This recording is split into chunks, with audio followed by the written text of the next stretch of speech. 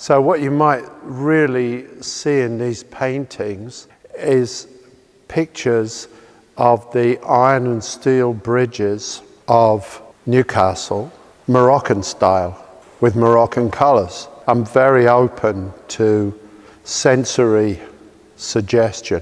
When I go somewhere, it usually has an impact on me. And I mostly like to go to dirty places, not clean places, because there's nothing to get. You can't get anything out of perfection. Whereas if you go to countries that are slightly falling apart, there's a lot of information there, a lot of inspiration.